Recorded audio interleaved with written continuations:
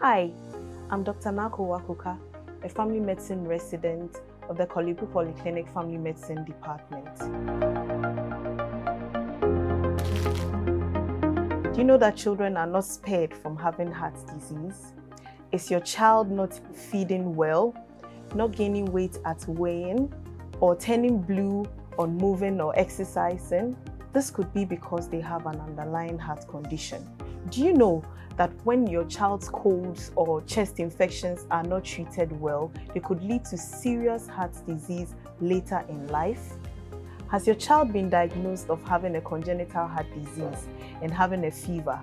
Don't treat this lightly because this could be because of a serious complication the child might have. Seek help early. Keep the young heart alive.